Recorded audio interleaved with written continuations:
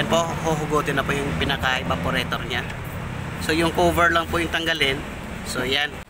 Magandang araw pong muli. Ah, welcome back po sa channel po natin, Ben Unique Works. So ngayong araw po, isi-share ko po sa inyo ah, itong nasa likuran ko. Yan. Ito po ay Honda Civic 2010 model. So ang gagawin ko nito, i-cleaning po natin yung aircon, papalitan ng expansion valve, dryer, and then pa-flushing po natin yung system niya. So yun po yung isi-share at papakita ko po sa inyo. So, isa na po natin. So yan po mga kayunik, uh, inumpisa na po ang pagbaklas ng ah, evaporator para sa Honda Civic na 2010 model. So yan. At tinatanggal pa po yung mga tornilyo o yung cover. So dyan lang po sa gilid yun tinatanggal. So yan. So pag magbaklas po tayo ng evaporator, nasa gilid lang po ng ah, passenger side. Sa bandang harapan po. So yan lang po yung mga gagawin at babaklasin po once na maglinis po tayo ng ah, aircon para sa Honda Civic. So yan po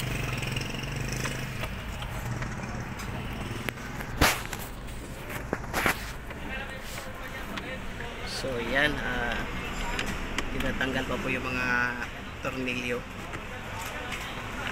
So pag Honda Civic po, pag ganitong model po mga ka-unique, uh, dinudukot lang po natin yan. So yan po mga ka-unique. At ang una pong uh, tatanggalin yung pinaka blower. So yan, uh, natanggal na po yung pinaka blower motor niya. So ito po yung blower motor ng uh, Honda Civic 2010 model. So yan.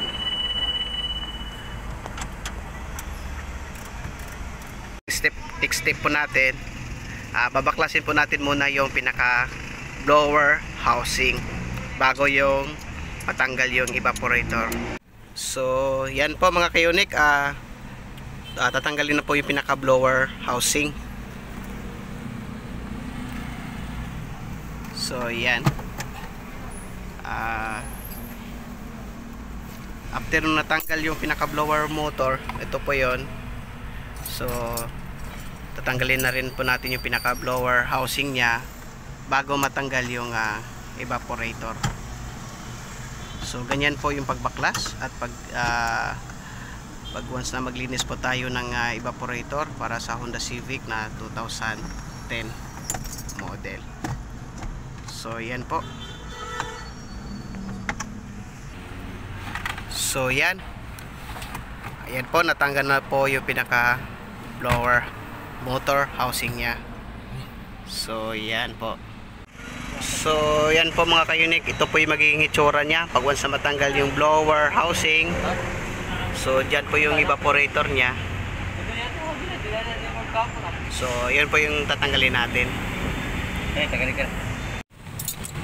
So yan po uh, hinuhugot po yung pinaka evaporator yan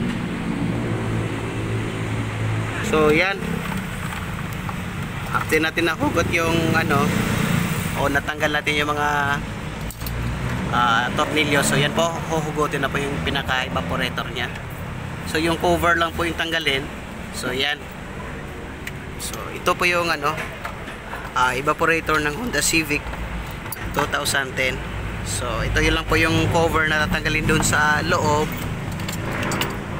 And then mahugot mo na yung pinaka evaporator nya so yan po. Yan po yung mga kayunik paggawa po ng Honda Civic o paglinis ng evaporator nya so hindi gano kadumi. So yan ito po yung uh, expansion valve yan uh, papalitan po natin yan So ito po yung uh, cover ng evaporator. Ayan, ito po yung nakatakip doon. Yun lang po yung tinanggal sa bago natanggal yung evaporator. Uh, linisin po natin. Tsaka ito yung pinaka blower housing niya. So yun po yung tinanggal para madukot yung evaporator at tsaka lilinisin na po natin yan. Ayan. So mga kayunik, dito naman tayo sa labas. after natin nabaklas yung pinaka-evaporator at saka yung housing, ayun, uh, lilinisin po natin yan. So, itong tubo na to, ito po yung connection ng evaporator, iko-flashing na po natin yan. So, at ito naman yung pinaka-condenser.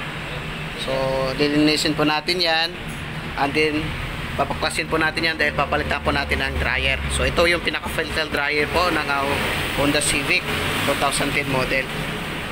So, yan. So, yan. So, ganyan lang po mga kayunik pagtanggal ng condenser. So, ito. So, yun o. sobrang daming, ano, daming dumi nung, ano, daming dahon. Ito pa yung radiator niya. So, lilinisin din po natin to dahil, uh, nagkupos po tayo ng high pressure pag sobrang dumi yung, ano, radiator. So, kita no? Yan. Parang may puno ng kahoy din sa loob. Ang daming dahon. So, yan. Lilinisin din po natin yan. So, yan mga kayonik. Uh, natanggal natin yung evaporator tsaka condenser. So, ito po yung expansion valve. Yan. Papalitan natin yan bago yan. At saka yung filter dryer. Papalitan po natin. So, lilinisin po natin to. Pati yung mga tubo rito. Yung mga connection.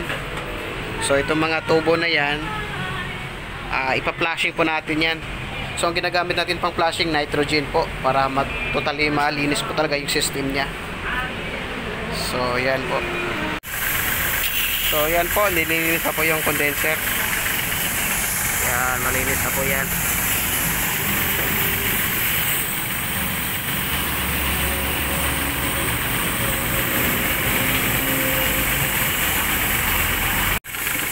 So yan po, uh, nilinis na rin po yung pinaka blower housing. Yan po, din, uh, pati yung cover ng evaporator, uh, nilinis din po. So ganyan lang po yung paggagawa. A few moments later. So yan po mga kayunik, uh, bidalik na po yung pagkabit ng evaporator. Ayan, uh, nakabit na yun yung cover. So ang next gagawin natin, ibabalik na rin yung pinaka blower housing at saka blower motor so yan po uh, pagkatapos po natin na ibalik yung evaporator at saka na uh, naibalik yung pinaka cover nya so ngayon po mga kayonik ibabalik na rin po natin yung pinaka blower housing ganyan lang po mga kayonik pagkabit at pagbaklas para po sa aircon ng uh, Honda Civic 2010 model So yan po mga kayunik, uh, naibalik na po natin lahat, Nakab nakabit na po. Pati blower, naibalik na rin natin. So yung ang kulang na lang natin ibalik itong box na to para dito na side. So yun na lang po. So the rest po, na natin yung evaporator pati yung blower.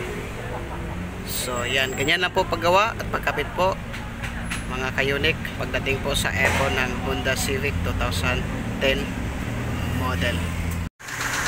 So, yan po mga ka-unit. Galinis po natin yung radiator. Inispehan na natin. So, wala na po yung dumay niyang kanina. So, yan. Malis na po. A few moments later. So, yan po mga ka-unit. Uh, naikabit na rin po natin yung condenser. And then, bago na rin po yung pinaka-dryer niya. So, yan. Nakita nyo po, malinis na po yung condenser. Pati yung radiator. Oh. Malinis na po. So, yan. Uh, ganyan po yung paggawa. At kinabit natin dito sa uh, Honda Civic 2010 model. Okay. So, yan mga kayunik. Uh, pagkatapos po nakabit lahat, uh, ito po, nagliligtis na po tayo. Ayan. Nakita nyo po, may pressure po yan.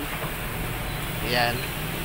So, liligtis po natin ito lalagyan po natin ng mga sabon lahat ng mga dugtungan yan tulad nito so pati yung mga dugtungan sa loob para uh, ma-double check natin kung may mga leak o yung mga ginagawa natin o yung mga kinakabit natin na dugtungan so yan